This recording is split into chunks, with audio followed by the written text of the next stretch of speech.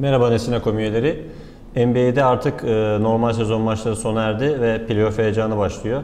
E, bu, bu hafta sonu oynanacak maçlarla playoff ilk tur maçları başlıyor ve iddia bülteninde de bu maçlara yer verildi. Hemen e, ilk maçla başlayalım. E, 797 kodlu Toronto Raptors Washington Wizards karşılaşması var. Cumartesi akşamı oynanacak bu karşılaşma. E, maç bu karşılaşma ile ilgili iddianın açtığı e, handikap konuk ekip Wizards yine 5.5 sayı e, maç son handikapı ve sayı limiti de 192.5 sayı olarak belirlenmiş durumda. E, iki takım aslında e, Toronto Raptors 4. Washington Wizards 5. olarak e, playoff'ta playoff sıralamasında yer aldılar ve birbirleriyle, birbirleriyle eşleştiler. E, Raptors aslında sezona çok iyi bir giriş yapmıştı. Sezonun flash takımlarından biriydi ancak e, yaşadıkları, yıldız oyuncuların yaşadıkları ardarda arda sakatlıklar. Önce DeRozan gitti bir süre oynamadı.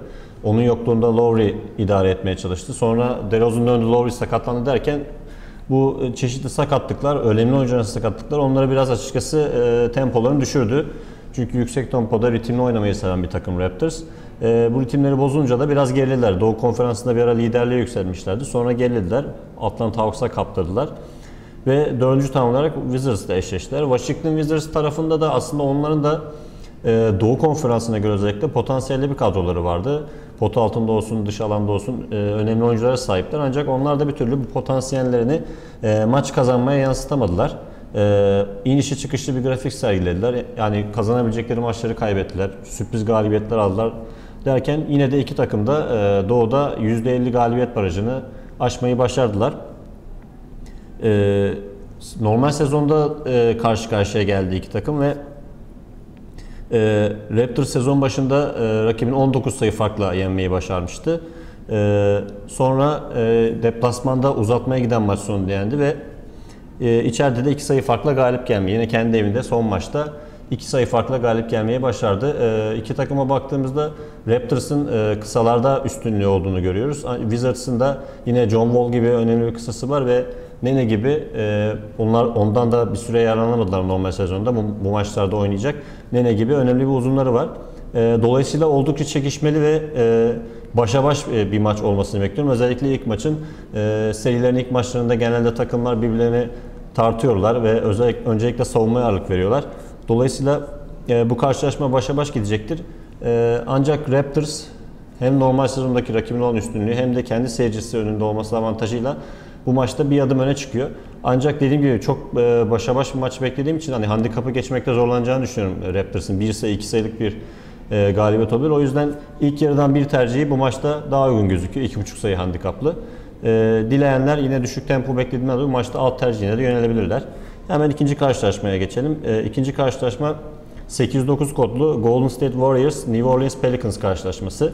E, Golden State Warriors e, NBA'yi bu sezonu oldukça fazla domine etti ve 67 galibiyetle e, rakiplerine açık ara fark atarak hem Batı hem ligi lider bitirdiler. E, tabii ki Stephen Curry zaten e, normal sezonun MVP adaylarından biri başta geliyor. Onun performansına Clay Thompson'ın da skorer gücü eklenince gerçekten durdurulmaz, özellikle hücumda durdurulmaz bir takım haline geldiler ve yine e, NBA'de geçtiğimiz sezonlarda pek varlık gösteremeyen Bogut'un bu sezon savunma performansı, e, Igodola ve e, zaman zaman Lee'nin katkıları onları tam bir takım haline getirdi. E, ve gerçekten e, rakiplerini açıkçası istedikleri zaman çok kolay mağlup edebiliyorlar. Pelicans ise Ömer Aşık'ın, milli basketbolcumuz Ömer Aşık'ın forma giydiği takım. E, onlar sezon sonuna kadar, sezonun son maçına kadar e, playoff yarışını sürdürdüler Oklahoma City Thunder'la. Orada da Enes Kanter forma giydi milli basketbolcumuz. Son maçta e, Spurs gibi önemli bir takımı yenerek kalmayı başardılar playoff'a. Ancak ilk turdaki rakipleri gerçekten çok zorlu. Ee, onların da e, Ömer gibi, e, Anthony Davis gibi, Tyreek Evans gibi aslında iyi oyuncuları var. Ancak e, Warriors'a göre biraz daha tecrübe eksiklikleri var. E, dolayısıyla o açıdan Warriors'ın bir artı bir avantajı daha var. E, normal sezonda Warriors'ı sadece bu 7 Nisan'da ki oynanan son maçta yenebildi Pelicans. Zaten Warriors da çoktan yerini garantilemişti o maçta. E, dolayısıyla çok e, önemsemediler o maçta. Kaybettiler. E, Warriors önceki maçlarda rakibini 27 sayı ve 16 sayılık farklarla yenmeyi başarmıştı. Dolayısıyla bu maçın da mutlak favorisi durumundalar. Yani ben 12.5 sayılık handikapın onlar için çok e, aşılması zor bir handikap olmadığını düşünüyorum. Ev sahibi takımın rahat bir galibiyete ulaşacağını düşünüyorum bu karşılaşmada. 810 e, kodlu Chicago Bulls Milwaukee Bucks karşılaşmasına baktığımızda e, bu karşılaşmada konuk ekip Milwaukee Bucks yine 9.5 sayılık bir handikap belirlenmiş durumda ve maçın sayı limiti de 187.5 sayı olarak belirlenmiş durumda.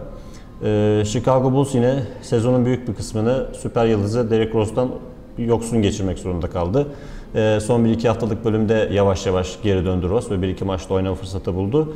Dolayısıyla playoff'a e, Rose'un nasıl gireceği çok önemli. Yani Rose'un ilk maçlardaki özellikle Chicago'daki maçlardaki performansları serinin gidişatı açısından çok belirleyici olacak. Milwaukee Bucks da aslında sezona çok iyi başlayamamıştı ancak e, bir ivme yakaladılar sonlara doğru. Özellikle takastan sonra da e, takım olarak iyi bir çıkış yakalayarak ee, doğu'da iyi bir yer aslında kendilerine göre iyi bir yer elde ettiler. Chicago Bulls'la eşleştiler. Aslında çok da iki takım arasında hani sezon performanslarına baktığımızda bazı fark oluşmadı. Ee, dolayısıyla e, Chicago Bulls için favori olsalar da o kadar kolay bir seri olmayacağını düşünüyorum. Milli basketbolcumuz Ersan İlyasova da bu takımda forma giyiyor. O da çok formda son dönemde. Ee, dolayısıyla e, tabii ki Rose da önemli ancak Bulls adına Noah ve Butler'ın sağlıklı kalması sezon için onlar da çok sakatlıklar yaşadı çok önemli. E, Bulls bu maçta galibiyet alacaktır ancak ben e, kolay bir galibiyet olmayacağını, olmayacağını düşünüyorum. Zaten iki takımın da e, savunma tarafları ağır basan takımlar aslında. Dolayısıyla bu maçta normal sezon maçlarına da baktığımızda zaten e, bu 108 bu maçın limitini aşamadıklarını görüyoruz. Ben bu karşılaşmada da limitin aşılmayacağını düşünüyorum ve alt tercihini öneriyorum. Son karşılaşmada 8-11 kodlu Houston Rockets Dallas Mavericks karşılaşması. Bu maçta e, Dallas Mavericks'de yine 5.5 sayılık bir e, handikap belirlenmiş durumda. E, Batı konferansında e, Houston Rockets sezonun iyi takımlarından biriydi. Özellikle James Harden'ın o da MVP'nin sıkı adaylarından biri. Performansı e, zaman zaman takımı tek başına galibiyetlere taşıdı. Dwight Howard belli sürelerde sakattı, takıma katkı veremedi. E, ancak Ariz, Ariz olsun, Mateunas olsun e, Harden'e iyi destek olarak ve sakatlanana kadar da Beverly, o da sakatlandı son maçlarda.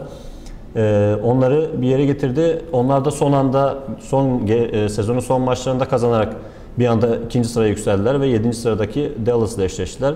E, Dallas Mavericks aslında All-Star arasına kadar iyi gidiyordu. Ondan sonra e, özellikle Montelis'in formsuzluğu, Rajon Rondo'nun bir türlü takımda istenilen seviyeye gelememesi, takımla uyumunu tam olarak sağlayamaması ee, daha doğrusu takım istediği gibi oynatamaması e, Dallas'ın birazcık temposunu düşürdü. Tabii ki maç yoğunluğuyla Nowitzki de artık e, ilerleyen yaş nedeniyle e, bu tempoyu kaldıramadı ve biraz daha aksadı.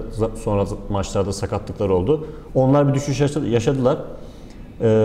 Normal sezondaki 4 maçta 4 kez karşılaştılar bu 4 maçın 3'ünde Rockets galip geldi.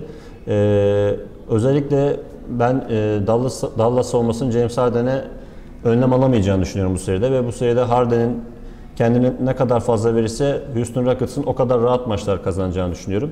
Ee, ilk maçta Toyota Center'da e, Houston için ev sahibi avantajı çok önemli. Kendi seyircisi de çok iyi bütünleşiyor. E, bunu da iyi kullanacaktır diye düşünüyorum ve ilk maçta e, Houston Rockets'ın galibiyetini öneriyorum. Herkese bol şans diliyorum.